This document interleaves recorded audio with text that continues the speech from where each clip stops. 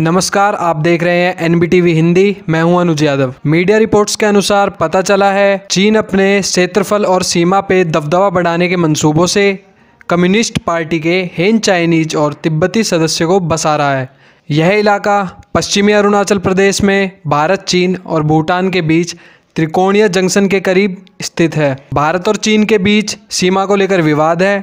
इस क्षेत्र में चीन अपने क्षेत्रीय दावों को मज़बूत करने और सीमा पर घुसपैठ को बढ़ाने के लिए निर्माण कर रहा है। इस रिपोर्ट में पेश की गई दोनों सैटेलाइट इमेजों को देखकर पता चलता है, चीन ने तीन गाँवों का निर्माण किया है। यह चीन का एक महत्वपूर्ण कदम हो सकता है अपने क्षेत्रीय दावों को मज़बूत करने की दिशा में। जैसा कि आप सब जानते हैं, उन्नीस सौ बासठ युद्ध के बाद दोनों देशों में तनाव की स्थिति बनी हुई है।